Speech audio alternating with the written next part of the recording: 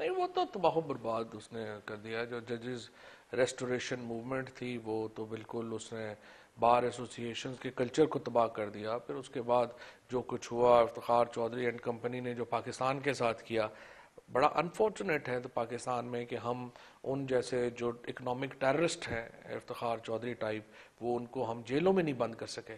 اور ان کے ساتھ جو ملے ہوئے لوگ تھے، یہ حامد خان اینڈ کمپنی جو کہ پاکستان کے اندر یہ جو سارا اکنامک ٹیررزم ہوا، دیکھو نا ریکڈیک میں ہمیں چھ بلین ڈالر پڑا ریکڈیک میں ہمیں یہ جو کارکے ہے اس میں ہمیں بلین ڈالر کی ڈز پڑی۔ بلینز آف ڈالرز جو ہیں، وہ افتخار چودھری اینڈ کمپنی کی وجہ سے پاکستان اس کو جو ہے وہ نیچے لگا۔ اور پھر یہ ان لوگوں کی وجہ سے ہم لوگ ان کے خلاف کوئی کارروائی نہیں کر سکے۔